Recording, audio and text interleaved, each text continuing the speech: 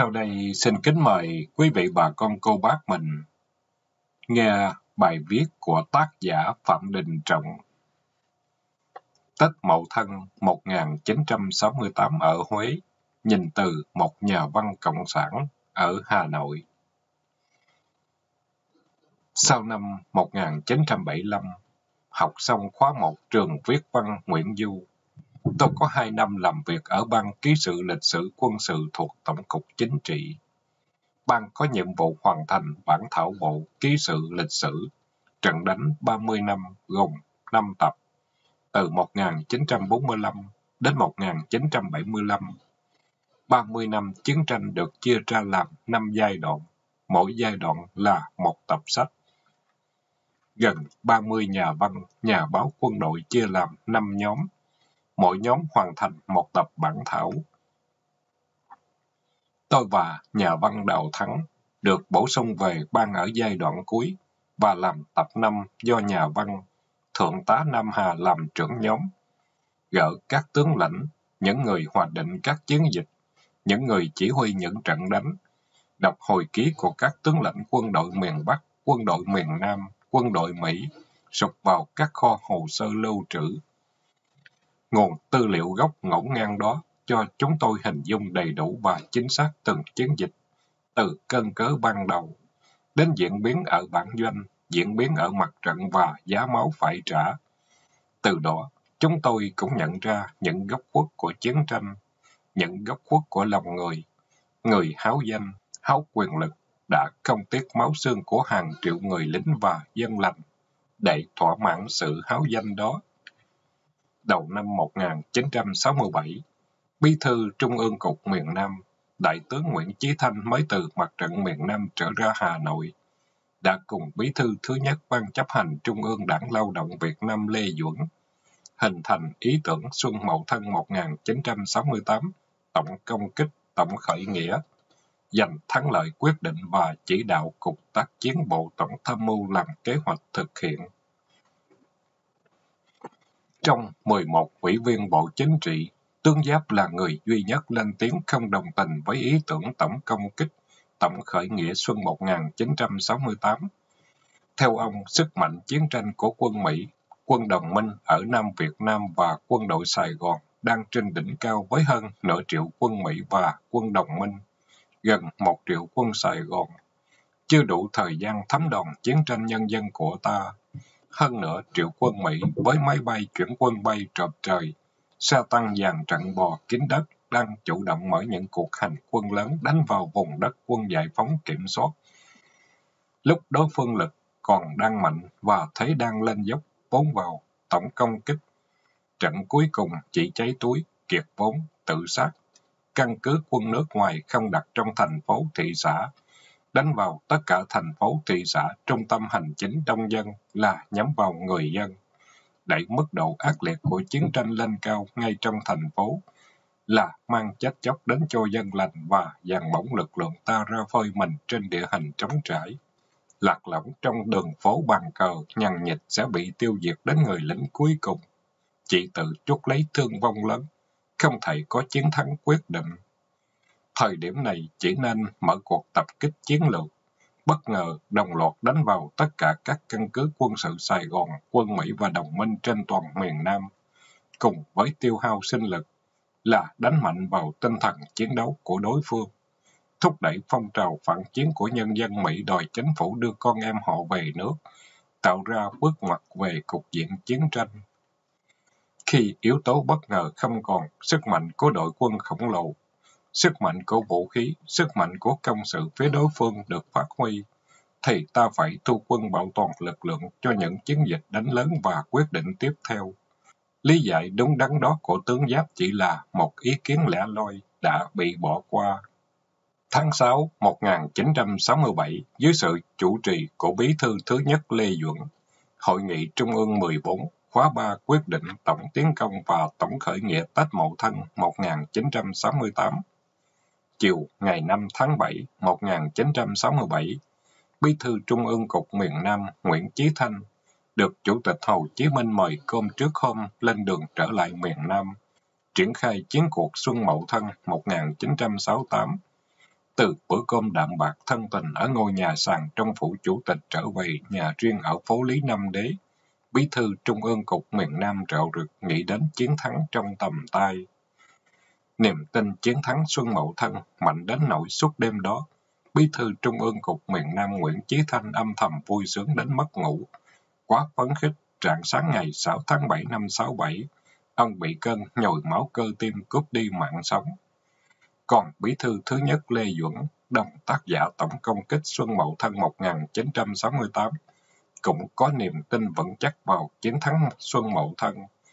Đến mức ông đã trù liệu cả việc giành độc quyền chiến thắng, không cho những đối thủ chính trị được ghé tên, chia phần chiến thắng của ông bằng cách không để Hồ Chí Minh và Võ Nguyên Giáp có mặt ở trong nước trong suốt thời gian chuẩn bị và quá trình diễn ra chiến cuộc Xuân Mậu Thân 1968. Không có mặt ở trong nước là không can dự gì vào chiến cuộc Xuân Mậu Thân 1968.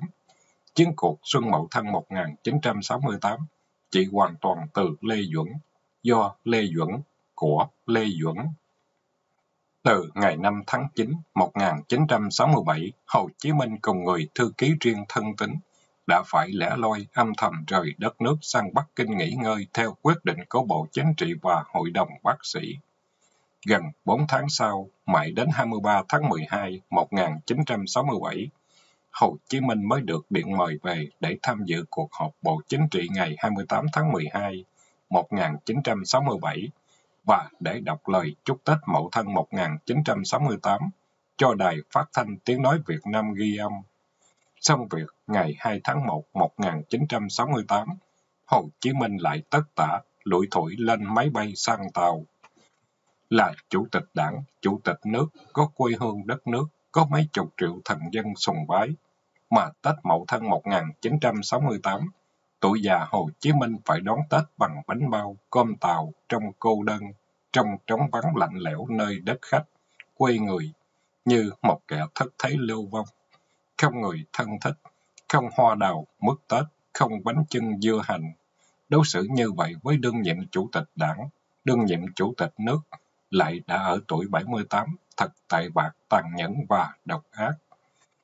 Lại nữa, với âm mưu gì mà bố trí để một người già gần 80 tuổi đi chuyến bay vào đêm đông giá rét, rồi khi máy bay hạ cánh trong đêm thì người lái lâu năm thuộc đường băng liền phát hiện ra đèn sân bay lệch 15 độ. Máy bay phải lượn đến vòng thứ hai vẫn không dám hạ cánh, báo cho sân bay nhưng đèn đường vẫn hạ cánh không thay đổi. Nếu là người lái chưa thuộc đường băng cứ hạ cánh theo đèn dẫn thì máy bay đã trượt khỏi đường băng và nổ tung rồi. Nhờ người lái lão luyện thuộc đường băng như thuộc đường ngõ xóm nhà mình, nên cho máy bay hạ cánh theo trí nhớ. Nhờ thế máy bay mới an toàn, người đi chuyến bay đó là Hồ Chí Minh mới còn mạng sống. Không biết trong toan tính giành độc quyền chiến thắng Xuân Mậu Thân 1968, Bí thư thứ nhất Lê Duẩn có tính đến sự cố chuyến bay chở Hồ Chí Minh hạ cánh xuống sân bay Gia Lâm đêm 23 tháng 12, 1967 không nhỉ? Một sự cố nghiêm trọng như vậy mà cho chìm xuồng lặng lẽ, không điều tra làm rõ cũng là điều rất không bình thường. Sự cố tài đình đó do sơ suất của những người quản lý, khai thác sân bay gây ra, tất sẽ được tìm ra và truy cứu trách nhiệm đến nơi đến chốn không được điều tra làm rõ, chỉ có thể là sự cố được bí mật tạo dựng bởi quyền lực tối cao, như từ trên trời rơi xuống, không ai dám đụng đến, không thể khui ra, thôi đành cho qua. Trong những ngày Hồ Chí Minh sống khắc khoải cô đơn bên Tàu, thì Võ Nguyên Giáp cũng phải ngậm ngùi sống ở trời Tây Hungary hiu quạnh. Chiến cuộc Mậu Thân 1968 đã diễn ra đúng như những gì Võ Nguyên Giáp đã cảnh báo mang chết chóc đến dân lành và đội quân ở rừng đánh vào thành phố. Ở lại giữ thành phố đã phải chịu tổn thất nặng nề nhất trong suốt cuộc chiến tranh 30 năm. Hai bên tham chiến đã thỏa thuận ngừng chiến dịp Tết Nguyên đáng, để người dân được bình yên ăn Tết. Bội ước thỏa thuận đúng giao thừa Tết Mậu Thân, đêm 31 tháng 1 1968 lịch Tây. Đội quân ở rừng do Hà Nội chỉ huy, thực sự là đội quân miền Bắc nổ súng đánh vào tất cả các thành phố, thị xã, thị trấn trên toàn miền Nam. Bị bất ngờ, quân miền Nam và đồng minh không kịp phản ứng, đành để mất nhiều khu vực trong các thành phố, thị xã, cho đội quân miền Bắc làm chủ. Tình thế này dẫn đến hai hậu quả. Một, vùng thành phố, thị xã do quân miền Bắc làm chủ trở thành nơi chiến sự ác liệt nhất, nơi tập trung bom đạn của cả hai phía, nơi tắm máu dân lành. Thành phố Huế là nơi quân miền Bắc ở lại lâu nhất, 28 ngày, cũng là nơi tăng thương nhất. Hơn 116.000 ngôi nhà bị tàn phá, trong đó 9.776 ngôi nhà bị san bằng, 3.776 dân lành bị bom đạn giao tranh giết chết. Đội quân từ rừng về coi những người dân làm việc trong bộ máy hành chính của chính quyền Sài Gòn hoặc liên quan đến chính quyền Sài Gòn đều là kẻ thù, là ác ôn phải loại bỏ. Chiến dịch diệt ác trừ gian nhằm vào dân thường cũng diễn ra khốc liệt nhất ở khắp các thành phố thị xã. 2. Đội quân miền Bắc đánh vào thành phố chỉ nhờ yếu tố bất ngờ mà giành được thắng lợi ban đầu. Yếu tố bất ngờ không còn, đội quân đánh vào thành phố từ chủ động thành bị động. Phải lấy yếu thế, thế bị động, thế cô lập bị bao vây chia cắt, phơi mình ra trên địa hình đường phố trống trải và lại lẫm đương đầu với thế mạnh áp đảo của quân đội miền Nam. Cố giữ các thành phố thị xã, những trung tâm hành chính, để hòng dựng lên một chính quyền cách mạng thay thế chính quyền Sài Gòn. Nhưng càng giữ thành phố thị xã thì các thành phố thị xã miền Nam càng trở thành vực thẳm không đáy trong vùi quân miền Bắc. Đơn vị sau thấy chỗ đơn vị trước đã bị xóa sổ, nhưng đơn vị thấy chỗ càng về sau quân số càng ít ỏi. Nhiều đơn vị, cả bộ đội chủ lực, bộ đội địa phương, cả du kích bị xóa sổ nhiều lần. Nhiều đảng bộ, chi bộ hy sinh trắng không còn một đảng viên. Tết Mậu Thân 1968 là thảm họa người Việt giết người Việt, với quy mô lớn nhất, quyết liệt nhất, mê say nhất, tàn bạo nhất, và số người bị giết lớn nhất phải tính tới con số hàng trăm ngàn, mà bên bị tổn thất về người nặng nề nhất chính là đội quân dồn dập đánh vào các thành phố thị xã miền Nam dưới sự đông đốc từ Hà Nội do sự háo danh của người nhiều tham vọng quyền lực. Lứa nhà văn quân đội chúng tôi hình thành trong cuộc chiến tranh Nam Bắc được Tổng cục Chính trị tập hợp về giữa năm 1976 đến mùa hè năm 1984 vẫn đang có mặt đông đủ ở Vân Hồ Ba, Hà Nội, và Vân Hồ Ba, Hà Nội trở thành địa chỉ thường xuyên lui tới của những người cầm bút đất kinh kỳ. Một buổi chiều muộn, nhà văn Bùi Bình Thi phóng xe máy từ nhà sáng tác quảng bá Hồ Tây đến Vân Hồ Ba, hấp tấp kể với chúng tôi câu chuyện nhà văn vừa chứng kiến về người khởi xướng vụ tắm máu Tết Mậu Thân 1968 chạy trốn chối bỏ trách nhiệm trước người dân, trước lịch sử. Sau một ngày đóng cửa hì hục viết, trước bữa cơm chiều, các nhà văn đang ở trại sáng tác quảng bá, thường sang phòng nhà văn quân đội. Đại tá Xuân Thiều tán chuyện đợi nhà bếp mở cửa. Chiều nay vừa đủ mặt thì bỗng Tổng bí thư Lê Duẩn cùng người bảo vệ xuất hiện ở cửa phòng. Từ đại hội lần thứ tư cuối năm 1976, Đảng Lao động Việt Nam đã đổi tên thành Đảng Cộng sản Việt Nam và chức bí thư thứ nhất đổi thành Tổng bí thư. Khu nhà nghỉ của cơ quan Trung ương Đảng Cộng sản bên Hồ Tây, cách nhà sáng tác của Hội Nhà văn Dâm Phúc đi bộ. Tổng bí thư Lê Duẩn đang nghỉ ở đó. Buổi chiều, ông đi dạo và ghé vào nhà sáng tác của các nhà văn. Các nhà văn đều là đảng viên Cộng sản, nhận ra tổng bí thư của mình liền nồng nhiệt đón tiếp. Tổng bí thư vui vẻ hỏi tên từng nhà văn. Nghe nhà văn Xuân Thiều tự giới thiệu là đại tá.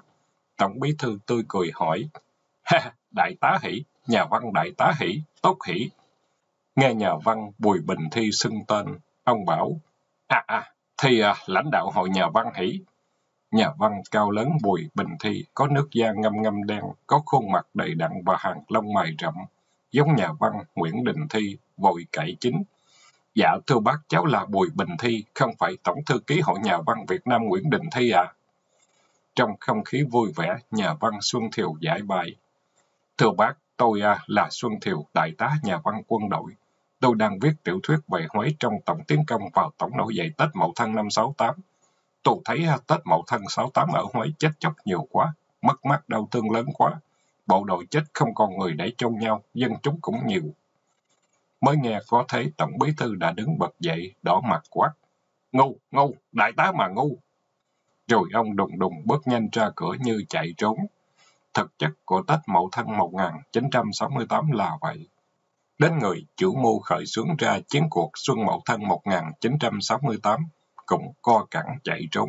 Khi nghe nhắc đến Mậu Thân 1968, thì hàng năm có nên tưng bừng kỷ niệm chiến thắng Xuân Mậu Thân 1968 không nhỉ? Chiến tranh đã qua lâu rồi, cần thoát ra khỏi tuyên truyền tâm lý chiến. Không thể coi chiến cuộc Xuân Mậu Thân 1968, người Việt giết người Việt với quy mô lớn nhất. Người Việt bị giết chết nhiều nhất trong một chiến dịch. Người Việt cày nòng súng vào tay người Việt bắn ngay trên đường phố là chiến thắng của bất kỳ phía nào, của bất kỳ ai trở về với bản thể con người, trở về với cội nguồn dân tộc để nhận ra rằng Xuân Mậu Thân 1968 là mùa xuân tăng tốc của dân tộc Việt Nam, là trang đau buồn của lịch sử Việt Nam. Trang đau buồn đó cần ghi lên hàng đầu tên hai người. Một tên phải viết bằng mực đen và một tên viết bằng mực đỏ. Tên viết bằng mực đỏ là Võ Nguyên Giáp, dù Võ Nguyên Giáp bị gạt ra bên lề chiến cuộc Xuân Mậu Thân 1968, nhưng tiếng nói của Võ Nguyên Giáp khi chiến cuộc Xuân Mậu Thân 1968 được soạn thảo. Tiếng nói không đưa chiến tranh chết chóc vào nơi tập trung dân cư, không đẩy mức độ ác liệt của chiến tranh lên cao ngay trong thành phố, là tiếng nói của trái tim con người, tiếng nói của dòng máu đỏ Việt Nam. Tác giả Phạm Đình Trọng Bài viết đến đây đã chấm dứt. Xin cảm ơn tác giả. Xin cảm ơn bà con cô bác mình đã lắng nghe.